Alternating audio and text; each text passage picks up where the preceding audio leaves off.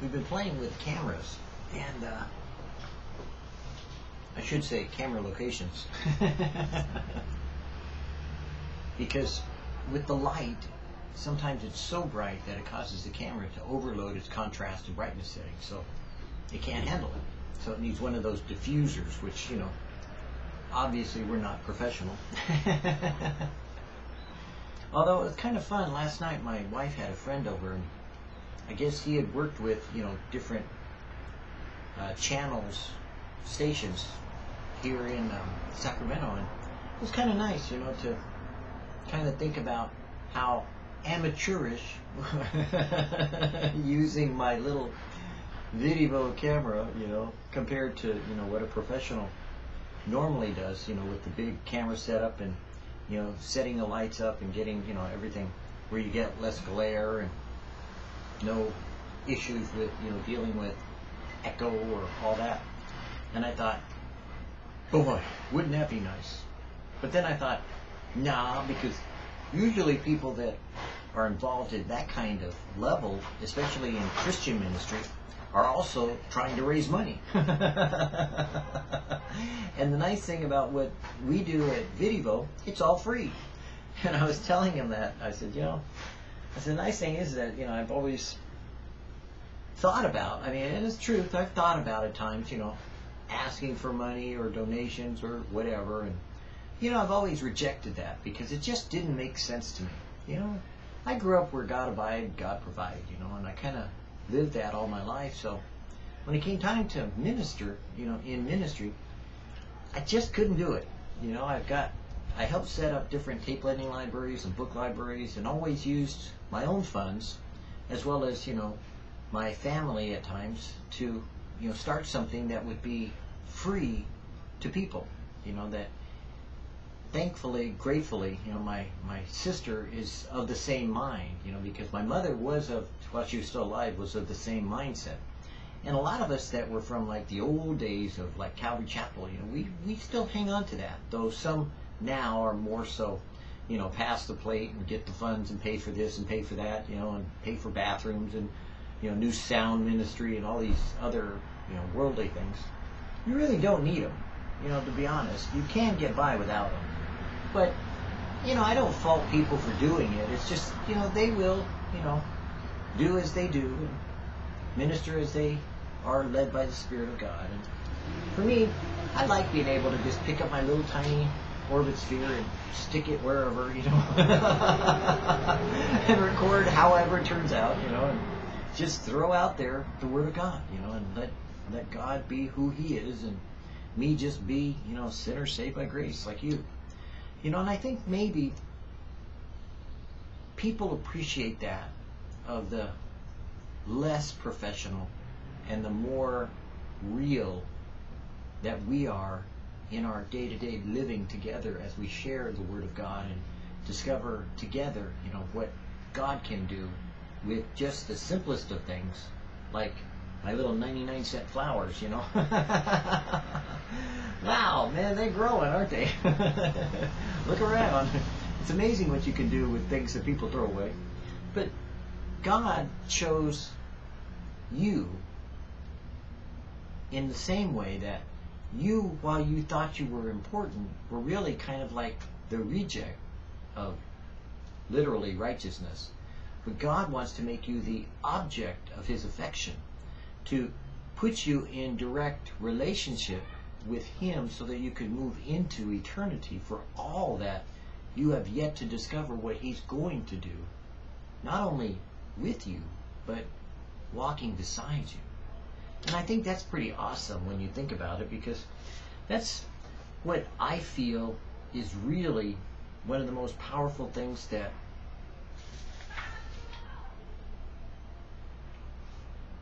God does in my life.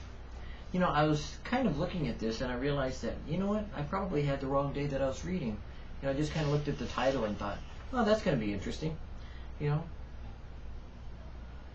And you know, I think I'll share it anyways because it feels like this is the right one to share today. So, in VidDevo, you know, your teaching, you know, spirit led, we will obey the Word of God. You know, I feel as though sometimes people don't realize how yielded we all need to be to the Spirit of God. Sometimes people get so structured in their adamant way of looking at things, they don't give any leeway for what God may want to do in their life. They sit down and they say, okay, from 6 o'clock to 7 o'clock, I automatically do this. From 7 o'clock to 8 o'clock, I'll do this. But we all know that if you are real about your planning, you know that things can interrupt your schedule and that those things can be circumstantial or at the moment, you know, a crisis or even something unplanned for. And so you have to be yielding to that. These plants that you see around me have had to endure some strong winds sometimes when the winds come out of the north or when they come off the ocean, you know, and they blow up through the Central Valley and then they come up out of this side, as you can see my hand pointing, and they kind of blow the plants over. So if they yield, they kind of like get bent down, but once the sun comes out and it's no longer blowing in the wind, they bend back and they yield themselves to the sun and they kind of bend towards that. And so that bending and yielding is something that we all need to learn to do, to not get so regimented in our mindset that we don't let love, mercy, and grace kind of bend us the way that we should be, which is kind of yielding more so to those that are around us that maybe are rigid. Maybe they they are stuck in some kind of like, you know, bad news, you know, attitude. You know, you see them coming and you know that they're like really bitter or really stuck in their their mindset. Well, yield. You know, just kind of back off and back away and let them be who they are today. You know, just because they are the way they are doesn't mean you can't yield to the Holy Spirit giving you the opportunity to maybe just listen and let them vent and you know blow off steam and then eventually you may be surprised that that's all they needed to change. Sometimes yielding is the best way to be led by the Spirit of God. And it is the Spirit that beareth witness because the Spirit is truth. 1 John 5 and 6. When the Holy Spirit is in full control of our lives, he will expect our obedience to the written Word of God. But it is part of our human problem that we would like to be full of the Spirit and yet go on and do as we please, not as He chooses. The Holy Spirit who inspired the Scriptures will expect obedience to the Scriptures. And if we do not give that obedience, we will quench Him. This Spirit will have obedience, but people do not want to obey the Lord. Every one of us is as full as He wants to be you could walk in the Spirit and not fulfill the lusts of the flesh. But the reality is, you want to fulfill the lusts of the flesh. So you quench the Spirit in your life at times. Everyone has as much as they desire, but we do not want to meet the conditions that God has set for us. Let's use an expensive Cadillac automobile for an illustration. Here is Brother Jones who would love to drive a Cadillac but he is not going to buy one. I'll tell you why. He does not want a Cadillac badly enough to be willing to pay the price for it. Certainly he wants it, but he does not want it with the kind of desire. So it, but he does not want it with that kind of desire. So he is going to continue to drive his old Chevy.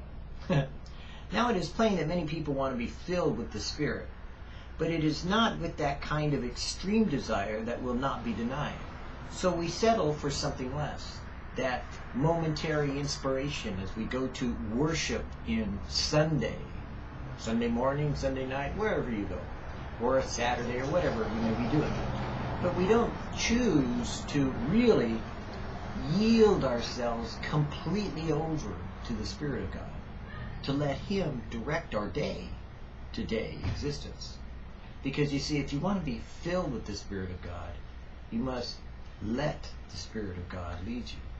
For as many as were called were led by the Spirit of God. And so many are called, but Tozer reminds us few are chosen. And of those that are chosen, fewer still will follow hard after God to allow Him to fill us with His Spirit that we would be even driven into the wilderness to be tempted of the devil.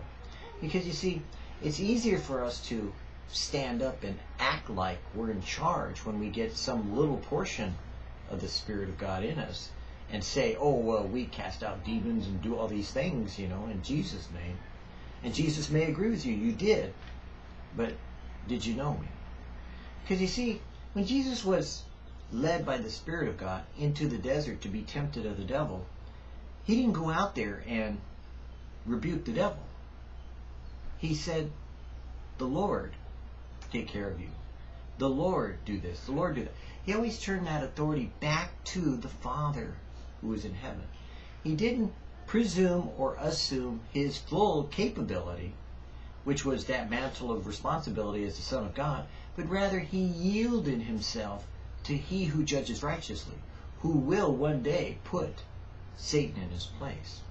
So sometimes I think that we see Pentecostal people or evangelicals get carried away in sometimes the things of the Spirit because they have a little bit of what they think is the Spirit of God. But being filled with the Spirit of God, you would have all knowledge and wisdom and peace, knowing that you could commit unto God and rest in Him, His authority to do what He can do that you cannot. Me personally, I like putting God in charge. Whenever God is directing, God's in charge of the results. But whenever I'm doing my own thing, I know what the consequences are because I can see them all around me, notoriously having to go back and clean up the mess that I may have made of what God was doing in the first place. We do say, Lord, I would like to be full. It would be wonderful. But we are not willing to proceed to meet his terms. We do not want to pay the price. The Holy Spirit will expect loving obedience to the Word of God. It used to be pretty simple to counsel people in where I grew up at Calvary Chapel, Costa Mesa. They would go to Romaine. Romaine would say, well, what's the Bible say? And people were reading the Bible and they say, well, you know, you need to do this. Well, then do it. That's all he'd say is, then do it. Are you going to argue with the Word of God? Then argue with God. So, are you obedient or are you disobedient? You see, when you put it down into simpler terms, all you have to do is cut away all the examples and circumstances and put it down into the basic premise, the basic problem, the basic issue of life. Are you led by the Spirit or are you led by your own will? Are you self-willed or God-willed? That's the point. How do you get to being less self-willed and more God-willed is your choice. You see, Jesus said deny yourself and that self means self-willed. It means whatever is involved with self, selfish, self-will, self-liberty, you know, self-assertions, self-direction, you know, all those things that are self, you know, things that we think that we need for our self-esteem. Jesus said, deny those. What? You want me to deny self-esteem? Yeah. God already esteemed you. Sinner. Maybe saved by grace, but that depends on where you're at. You know, kind of like, are you under grace or are you kind of like thinking you are? You know, pretending, acting, you know, but really you're kind of running around acting as though you're righteous. But when you deny yourself, then you take up your cross and you follow Jesus. And as you follow Jesus, Jesus had this testimony that he was accepted of the Father and that the Father delighted in what he did. And so as we look at Jesus' life, we say to ourselves, do I love my enemies like he did? Do I get involved in politics or did Jesus get involved in politics? Am I doing what Jesus said, even if I'm just going by example? Am I exemplifying Jesus or am I adapting my way to his way? Do you see what I mean? Whenever you put self in there, if there's anything that can be involved in self, you really haven't denied yourself, have you? And so that is the first thing that Jesus said to anyone that would come after him. Deny yourself, then take up your cross and follow me. So the first thing really is you really have to get rid of who you are in order to discover who he is. That is, if, and it's a big if, you want to be filled with the Spirit of God.